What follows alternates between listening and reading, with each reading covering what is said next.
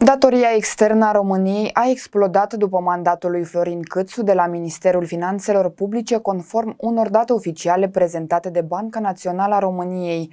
Și mai dezamăgitor este faptul că acești bani nu se regăsesc în buzunarele românilor.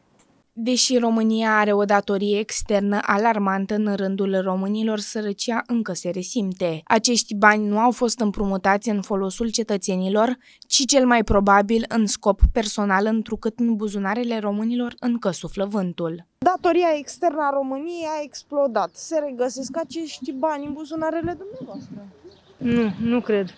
Noi suntem cei păgubiți și cei puși la pământ și la zid, cum se zice sau cu pistolul la tâmplă, să, să suportăm consecințele altora care să lăfăiesc în, în bani, în averuri, au vile, au de toate și banii noștri care se împrumută țara noastră românească, cât a fost ea de bogată și a ajuns să se împrumute în așa hal ca să și copiii din urma noștri, poate nepotul meu va și alți nepoți va plăti ce, ce nu va nu a putut nici pe timpul de la Teaușân cu asta să plătească datoriile. Nu au ce le trebuie. Nu au. Nu au.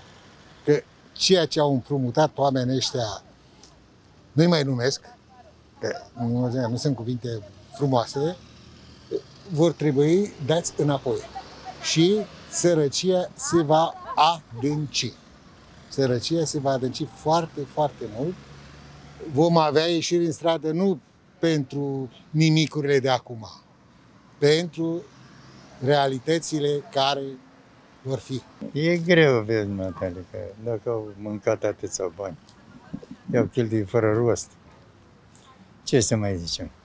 Ne limităm la ce este și ne vedem de treabă. Datele publicate de Banca Națională a României arată faptul că datoria externă a țării a crescut cu 9,2 miliarde de euro în octombrie la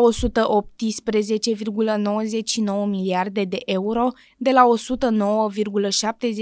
109,78 miliarde de euro la 31 decembrie 2019. Aceasta este datoria externă a României după mandatul lui Florin Câțu la finanțe. Țara noastră pare că nu mai are scăpare.